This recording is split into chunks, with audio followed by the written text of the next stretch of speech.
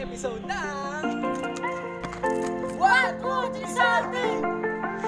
At meron naman tayong ilang katanungan para sa ilang katauhan para sagutin ang ating mga katanungan. na ang LGBT rights. Let's go! for how much as he loves our country from writing novels where he opens our mind to freedom it was also what he want for us for me like LGBT na maging malaya I was able to free myself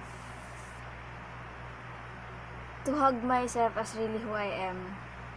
And I know Rizal, like him, he want also others to accept us, be free.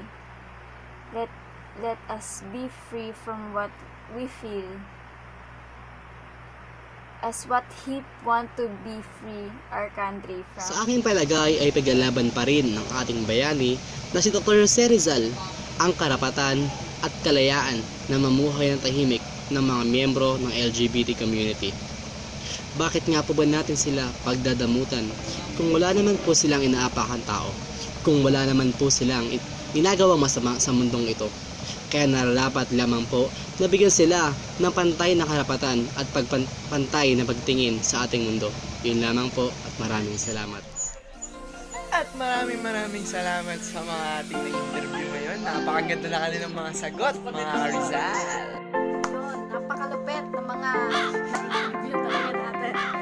Magkita-kita tayo sa susunod na episode. Dito lang yan sa